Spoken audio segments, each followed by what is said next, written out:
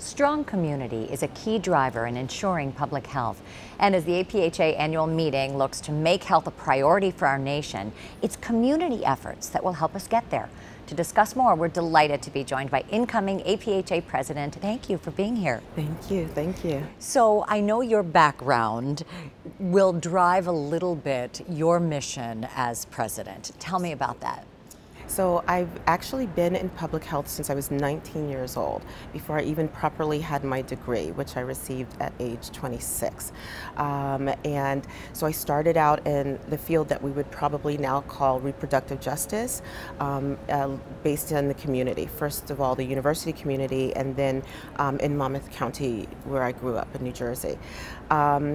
When I attended um, Temple University for my Master of Public Health, I was working in Philadelphia and all of the surrounding counties, um, doing on the ground health educator work, community health education um, around uh, many topics, including what we now call STIs.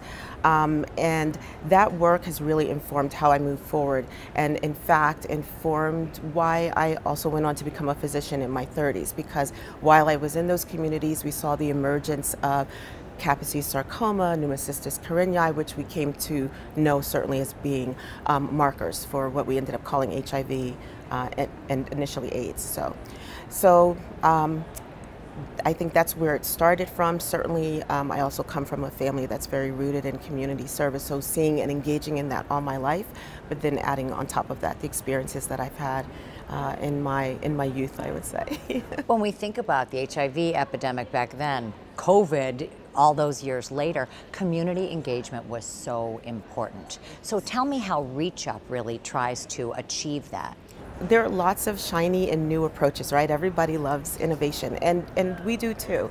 But we do have some tried and true tra- tactics that have worked for us. And so um, all of our um, staff are hired from within the communities that we serve.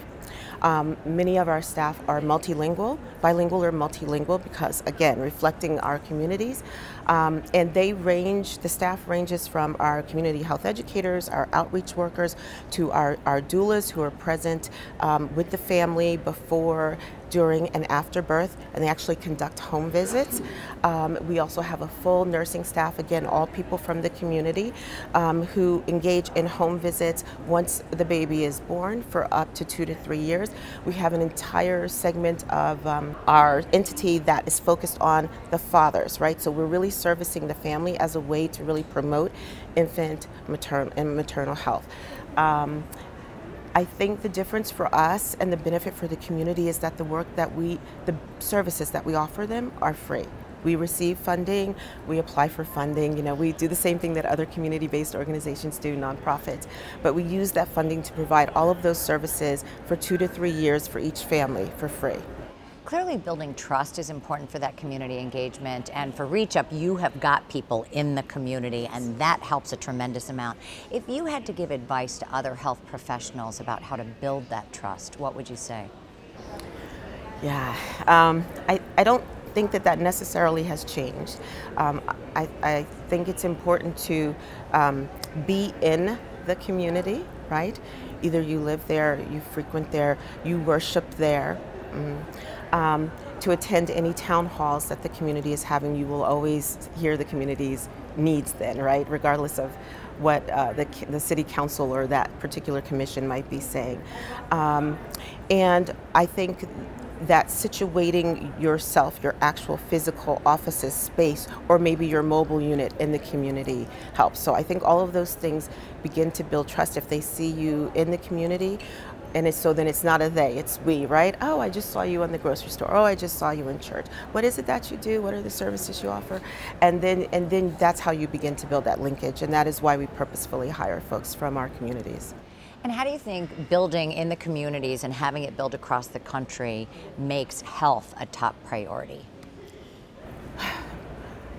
I actually feel that the community engaged work, community respect for the community um, is actually the very basis, the very foundation for all of our work, including the work that we do at universities, right? I'm also a, a, a university professor, um, but without having that community link, why are we doing the research? And who are we disseminating the research to to help who? The community, right? So I really think that it is the framework, it's the foundation upon which all of public health is built to be able to connect with, with um, your families within your community at that level. And I think that message really resonates here, especially. Yes, it does. Thank you so much. You're welcome.